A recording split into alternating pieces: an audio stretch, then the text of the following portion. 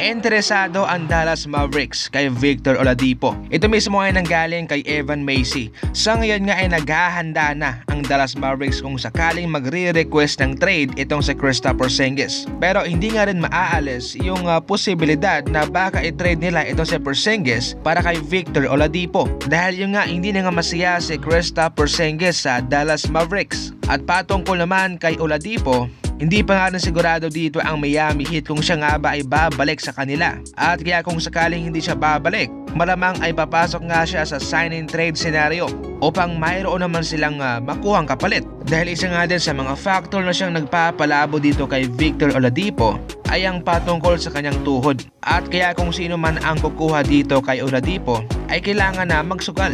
At bilang kapalit magkakaroon ng Porzingis ang Miami Heat na siyang tutulong kay Bam Adebayo at kay Jimmy Butler at San Antonio Spurs handang ibigay ang kanilang dalawang key player na sina Murray at White upang makuha nila ang 12 pick sa paparating na draft. Ito mismo ay nanggaling kay Zach Harper ng The Athletic. Si Murray at White ay isa sa mga nag-step up nung nawala si Kawhi Leonard at kaya siguro sa ngayon handa na silang mag-move on dito. Sa ngayon nga nag-average si Murray ng 15 points, 7 rebounds at 5 assists per game sa kanyang 16 minutes na playing time.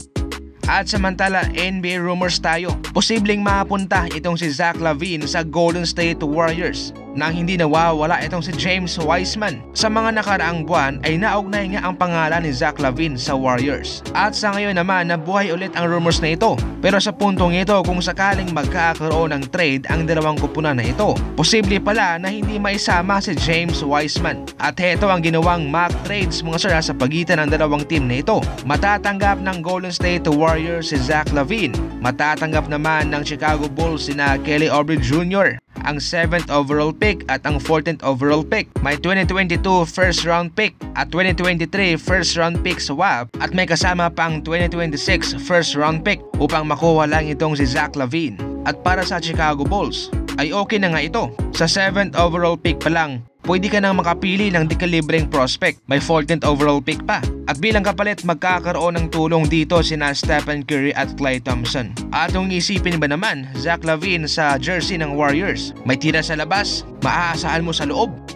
Sa ngayon nga, si Zach Lavine ay nag-average ng 27 points per game, 5 rebounds per game, at 5 assists per game. May 41% sa 3-point line at 84% sa free throw. At samantalang nagsalita na nga rin si Zach Lavine patungkol sa mga rumors sa mga di mo magaganap na tila rekrutan sa Team USA kung saan para mismo sa kanya, players gonna be players man. You gonna mingle and talk but we're here for one goal. We're trying to win the gold medal. I think whatever comes from that, friendship, teammates, I think that's an afterthought. But you know the NBA is, Everybody talks and it's a player league. So we understand what goes on. Something happens, it happens. Kumbaga para mismo kay Zach Lavine ay normal lang talaga na mapag-uusapan ang patungkol sa pagre-recruit at kung sakaling mangyari man, wala tayong magagawa. Maging una sa ating mga balitang basketball, mag-subscribe na at i-like ang ating video bilang suporta. And as always, maraming salamat po sa panunod. Peace out!